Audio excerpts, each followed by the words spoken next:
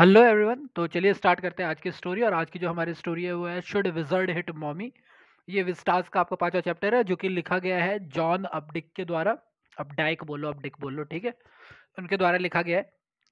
ये जो should wizard hit mommy है एक्चुअली ये स्टोरी जो एक फादर और डॉटर की है कि एक फादर जो है अपनी बच्ची को दो साल अब वो छः साल की है, लेकिन जब वो दो साल की थी तब से वो कहानी सुना रहा है। फादर का नाम जैक है, जिसको हम लोग और उसकी बेटी का नाम जो तो इसकी कहानी है और वो अपनी बेटी को पिछले चार साल से कहानी सुना रहा है। लेकिन अब जैसे जैसे बच्ची बड़ी हुई है तो उसके क्वेश्चन करने की क्षमता बढ़ गई है और वो चीज़ों के अंदर डिटेल जानना चाहती है।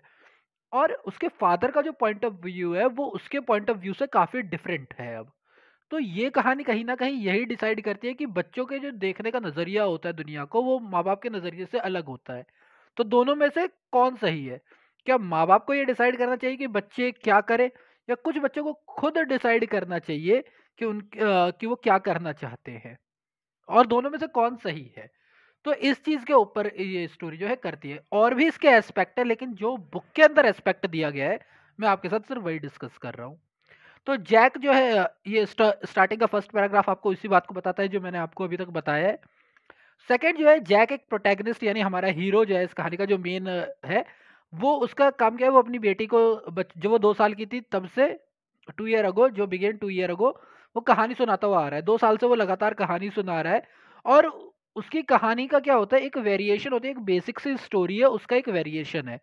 उसकी कहानी में हमेशा एक छोटा सा क्रीचर होगा, कभी वो क्रीचर मछली हो सकता है, कभी चूहा हो सकता है, कभी मोर हो सकता है, जिसका नाम रॉजर रॉजर होगा। और रॉजर को एक प्रॉब्लम होगी, उस प्रॉब्लम को सॉल्व करने के लिए वो आउल के पास जाएगा आउल जो है आ, उसे एक जादूगर के पास भेजेगा। जादूगर उसकी प्रॉब्लम सॉल्व कर देगा बट जब वो प्रॉब्लम सॉल्व करेगा तो उसके पास जो होंगे वो पैसे मांगेगा प्रॉब्लम सॉल्व करने के और रॉजर के पास हमेशा कम पैसे होंगे। तो वो उसका एक उपाय बताता है कि वहाँ पर एक कुआ है तुम उसके चक्कर मारो और जितने चक्कर मारोगे तो उतने पैसे मिलेंगे और वो पैसे चक्कर मार के पैसे कमा के जादूगर को दे देता है और खुश रहता है। ठीक है? लेकिन अब जैसे जैसे जो बड़ी हो रही है, जैसे जैसे जैसे जो बड़ी हो रही है एक मिनट।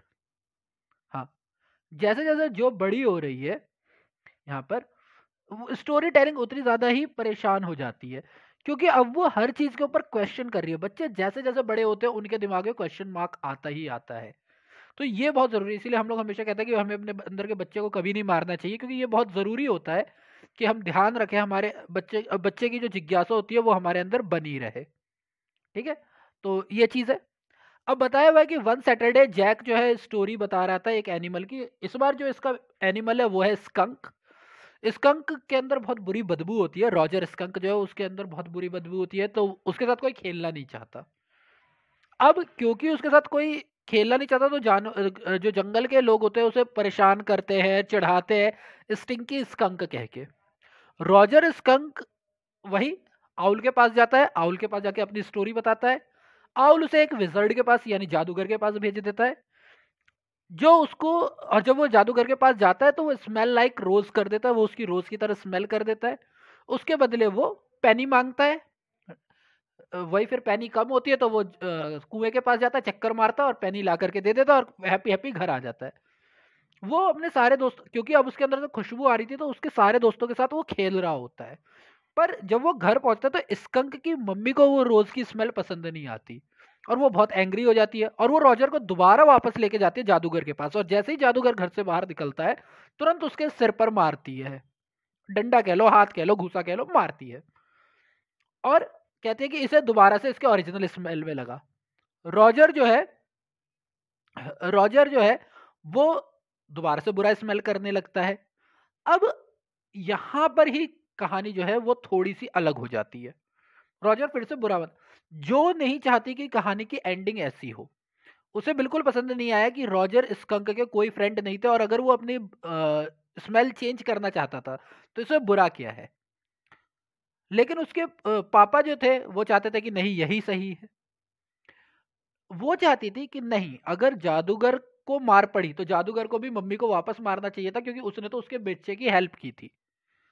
लेकिन जैक कहता है, नहीं, मम्मी हमेशा सही होती है, इसीलिए मम्मी ने जो किया, वो सही किया। अब देखो, यहाँ पर आपके दो चीज़ें आती है, एक दिलाइमा टाइप का आता है।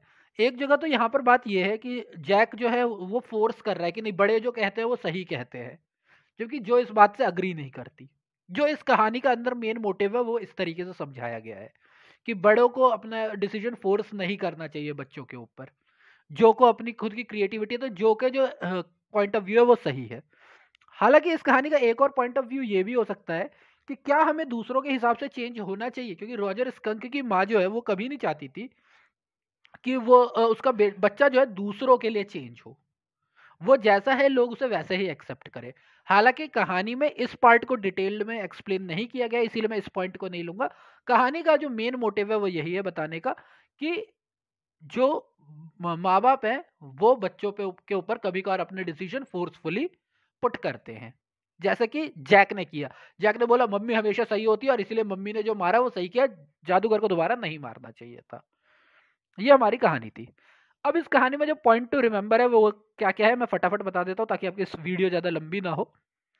जैक फैब्रिकेट करता है अपने टू ईयर ओल्ड डॉटर जॉको यानी हमेशा वो एक कहानी बनाता है, बताता है। उसकी कहानी में एक बेसिक प्लॉट होता है, ये जो सेकंड लाइन है, वो यही बोले कि उसकी कहानी में एक बेसिक प्लॉट होता है कि मेन प्रोटैगनिस्ट एक एनिमल होता है, जिसका नाम रॉजर होता है और वो एक छोटा क्रीचर होता है, जो मैंने आपको बताया ही।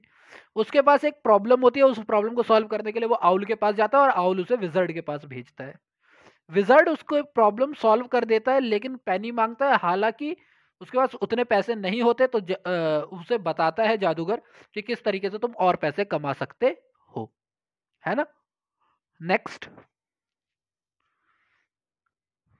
एक दिन जो अपनी बेटी को रॉजर स्कंक के बारे में कहानी बताता है कि जिसके अंदर तो बहुत बुरी स्मेल आती थी और सारे जानवर उससे दूर हो जाते थे। रॉजर स्कंक क्या करता है? रॉजर स्कंक आउल के पास जाता है, आउल उसे विजर्ड के पास भेजता है और वो उसकी स्मेल को रोजेस में बदल देता है। रोजर, रॉजर स्कंक बहुत खुश होता है, वो जंगल में आता है, वो अपने दोस्तों के साथ खेलता है और सभी उससे बहुत प्यार करते हैं क्योंकि अब उसके अंदर से खुशबू आ रही होती है। पर जब वो घर पहुँचता है तो उसकी माँ उसे डांटती है कि ये नई स्मेल क्या अजीब सी ले आया है। मदर उसे वापस विजर्ड के पास लेकर के जाती है। रॉजर की मदर जो है वो विजर्ड पे चीखती है और उसके सर पे मारती है। लिटिल रॉजर को उसकी स्मेल वापस मिलती है और वो दुखी हो जाता है। जो, यानी जैक की जो बेटी है, वो इस बिहेवियर से बिल्कुल पसंद नहीं है। वो चाहती थी कि नहीं, मम्मी को भी मम्मी को भी मार पड़नी चाहिए थी। विजर्ड को मम्मी को मारना चाहिए था वापस। जैक कहता है, नहीं, ये चीज़ गलत है, मम्मी का डिसीज़न सही था अब जो की जो माँ है, वो अनॉयड है क्योंकि जॉय जो है जैक जो है, वो बहुत टाइम ले रहा है स्टोरी टेलिंग में। क्योंकि मैंने बताया ना कि बहुत टाइम लगने लग गया था टायरिंग क्योंकि वो हर चीज़ में क्वेश्चन कर रही थी। ठीक है? और जो बिल्कुल नहीं चाहती थी कि स्टोरी बिल्कुल भी चेंज हो। उसको, वो चाहती थी कि इसकी एंडिंग चेंज हो जाए, क्योंकि मम्मी गलत थी उसकी। अब जैक के पास जो लास्ट पॉइंट है, ये दिलाइमा है कि वो अपनी वाइफ के पास जाए या स्टोरी के, को बदले।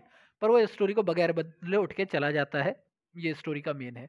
तो आई होप आपको समझ में आ गई होगी स्टोरी अगर कोई भी डाउट है तो प्लीज़ कमेंट बॉक्स में पूछिए, मैं आपको हैप्पीली आंसर करूँगा and thanks for your time thank you बहुत ही जल्दी अगली स्टोरी के साथ मिलते हैं. ठीक है?